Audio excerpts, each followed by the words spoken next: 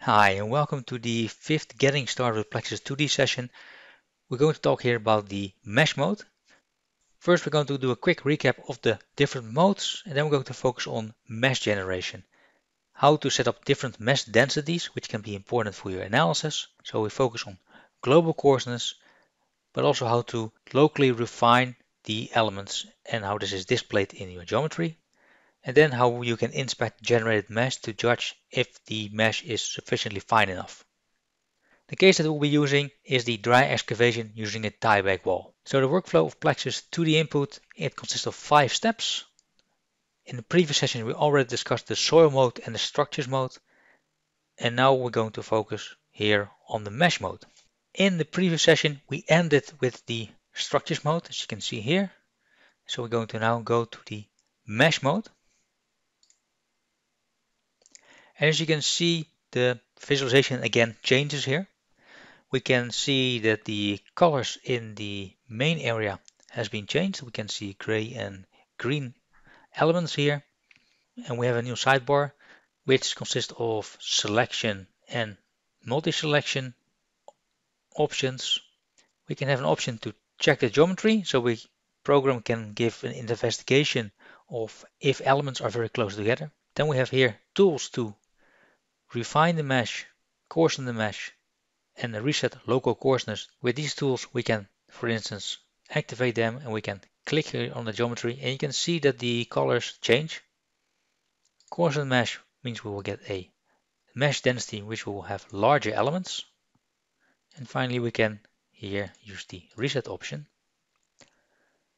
Now before we go to generate our mesh, first a quick explanation of the different options that we have.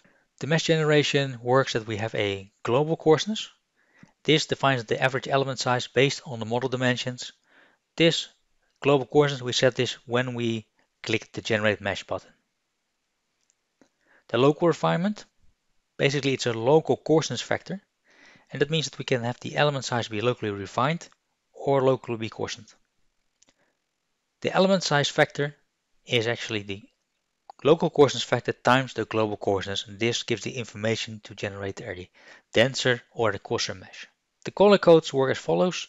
Uh, if you are in the draw area to represent the refinement the colors are indicated as green is refined and the lighter green it becomes more finer. And yellow means that it has been coarsened so that its local coarseness is coarser than the global coarseness so that will give us bigger elements in that area. And the lighter it becomes the coarser the mesh becomes so the bigger the elements becomes in that area. And of course that's important because with the smaller the elements the more accurate we can do the calculation but it also means that the calculation will become more heavy on the computational performance so that means the, the calculation will become slower when you use more elements so you should strike a balance here to set the right coarseness for your calculation so how does it look this local coarseness. Select this here. The lighter green, the more refined this option will be. You can also check it here, is that the coarseness factor here is set to a value of 0.1768. This is our local coarseness factor. Now the default of this is if you do reset local coarseness, and we can also use right click to control the local elements, actually the value will be reset to 1. Now if we have a element which is coarser, so maybe we have a factor of 2, you can see that we have this yellowish color. And if actually we're going to set this to 4, you can see that the color becomes lighter yellow. So I will just reset the coarseness here. And once we click the generate mesh button, here we can see the element distribution set to medium. And we can have a general medium mesh, coarse mesh, or very coarse mesh. Or maybe we want to have a fine mesh or a very fine mesh. For this case, I will stick with the medium option and let's generate the mesh. You can see it's rather quick and now the automatic mesh generation process takes into account these local refinements, So all the structural elements that you see here. So we have the retaining walls, the ground anchors. These are all locally refined, so we have better approximation of the structural forces. And the automatic mesh generation automatically takes that into account, so you do not have to specify the mesh yourself. PLAXIS will automatically create a triangulated mesh for you.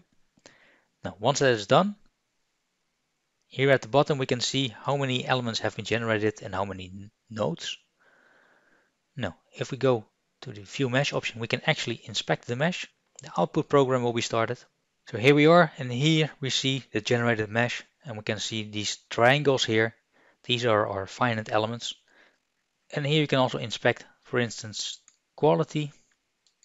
And the quality gives us an indication of the shape of the element. So if we do not have really spiky triangles or really flat triangles, which will not be that good for your calculation.